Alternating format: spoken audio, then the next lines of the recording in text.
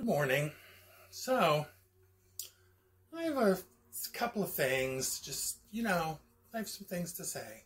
First of all, I'm trying to calm down because I just got off the phone with my car insurance place who are completely, I don't know what's going on over there, but they're not doing a very good job. So, I had a little discussion with them about certain things. I'm not going to go into it, but um, I was kind of borderline rude, maybe, or let's just say uh, passionate as I spoke to them about some things that are messed up. They have just let go and whatever.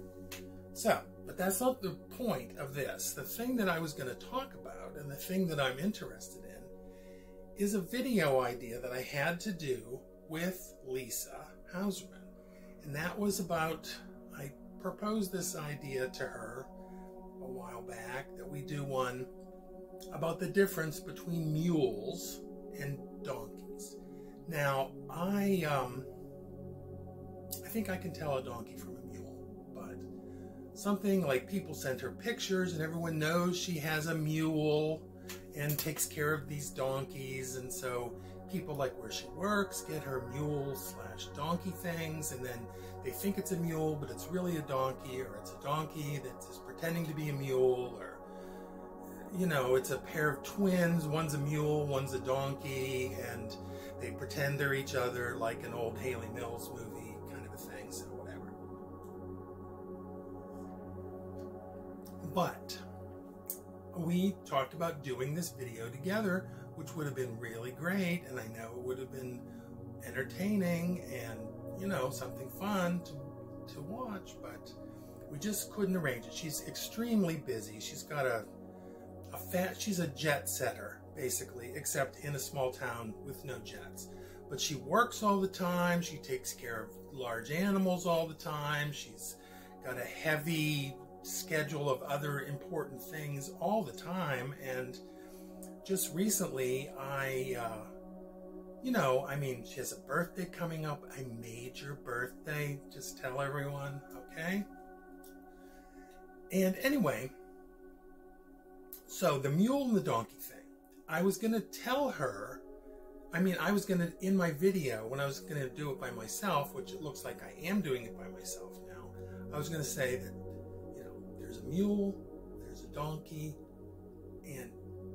don't think most people can tell the difference. They might think they're the same thing. They might think, I don't know. They might not care. Sorry. Sorry, Lisa, but they, some people don't care. So anyway, there's mules, there's donkeys. And the way you get a mule is you have a horse and a donkey, and they make love. And then the result of that lovemaking is a mule. I think I said. Yes, horse, donkey, together give birth to a mule. Well, a little, a baby mule. Anyway, so there's also um, and it has to be the right way. It has to be the female. I might, I'm not sure about this. You know, I should have researched this before I made a video about it. But anyway, it has to be a certain way. Like the female has to be, I want to say the horse, and the male has to be the donkey, or the other way around. But if you do it the other way, it's called something else.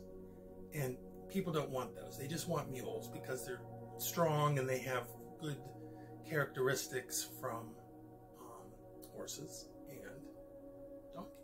So anyway, then there's also burros. Don't get me started on that because that's another. What's the difference between a burro and a donkey? I don't know. I think they're the same thing, but I could be wrong. They could just be different names for the same thing. So anyway, the difference between a mule and a donkey. Well, everybody knows now what it is, right? Because I fully explained it and didn't leave any room for confusion. A mule is a cross between a horse and a donkey.